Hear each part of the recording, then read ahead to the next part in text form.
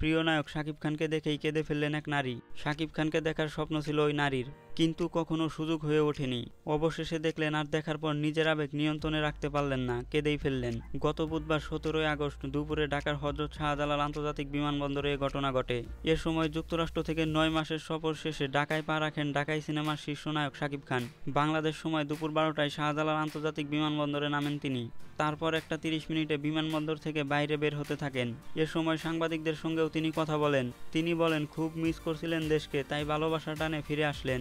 বিমানবন্দরে কাজ সেরে বের হয়ে আসার পর সাকিবকে দেখে উচ্ছ্বাসে ফেটে পড়েন অপেক্ষারত শত শত ভক্ত। দেশের বিভিন্ন প্রান্ত থেকে তারা ছুটে এসেছেন প্রিয় নায়ককে দেখতে। বোরকা পরিহিত এক নারীও এসেছিলেন সাকিবকে দেখতে।